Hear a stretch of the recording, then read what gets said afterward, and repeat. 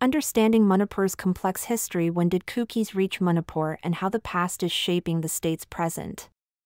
Exploring Manipur's historical complexities. Amid the ongoing demands for scheduled tribe ST status by the Meitei community and the Kukis seeking separate administration in the Manipur Hills, it's crucial to delve into the region's history. There's one past, but many histories, and Manipur exemplifies this complexity. As the state grapples with ethnic violence that began three months ago, its checkered history remains at the forefront. The state is divided into the valley and hill areas, each with its own diverse population. The valley area, known as the Imphal Valley, is home to Meitei, Meitei Pangal, Muslims, Naga, Kuki, various Zomi clans, Gurkhas, and 124 linguistic communities from across India. It's the most densely populated part of the state. In contrast, the hill areas are predominantly inhabited by 38 scheduled tribes, including Naga, Kuki, and Zomi categories. Certain sections of Meiteis, Gurkhas, and others also reside in pockets of the hill districts.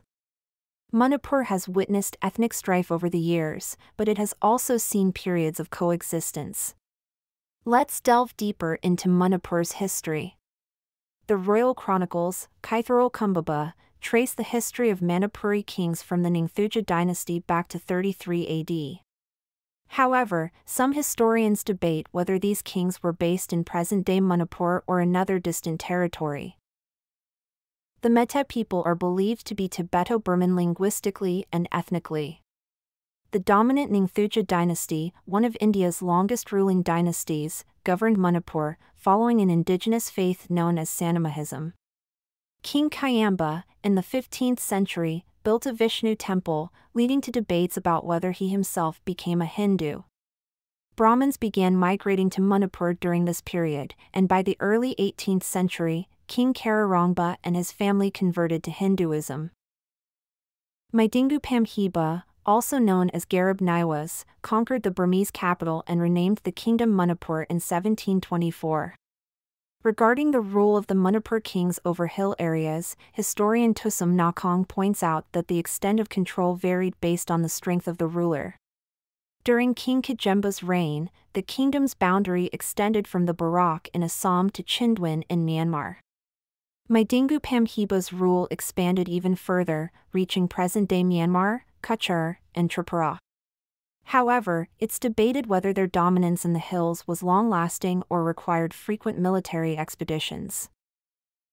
Various communities, including Nagas, Meiteis, Zomi, and Kuki, have coexisted across Manipur and its border regions. The term Kuki first appeared in colonial writings in 1777 when a tribe attacked British subjects in Chittagong. In Manipur, Kukis were mentioned between 1830 and 1840 by Sir James Johnstone, the political agent of Manipur. All communities, including the Meiteis, Nagas, Zomi, and Kuki, have counterparts in Burma, fostering social, cultural, and political ties. The Manipur Pangal, or Manipuri Muslims, arrived from Sylhet in the 17th century and became an integral part of Manipur's society the distinction between old Kukis and new Kukis emerged. Old Kukis assimilated, while new Kukis arrived after the First Anglo-Burmese War. The British, during the early 19th century, settled new Kukis strategically around the Manipur Valley to serve as mercenaries and protect against Naga raids. The British's strategic balancing of tribes led to mixed populations in the hills despite inter-tribe rivalries. Recent tensions in Manipur stem not from old Kukis but from the influx of illegal immigrants from Myanmar after 1949. Meiteis have protested against their ST status removal, while Kukis are concerned about the government's efforts to remove illegal immigrants from reserve forest areas.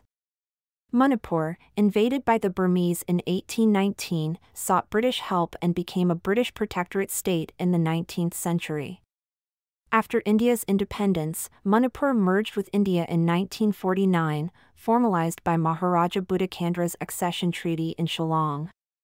Even during independence, debates arose regarding the inclusion of Meiteis in the list of scheduled tribes. Manipur's history is a tapestry of kings, conquests, and communities. Recent ethnic clashes underline the complexities of this diversity. Understanding this historical context is vital for a lasting solution. Stay tuned for more insights into Manipur's intricate past and its impact on the present.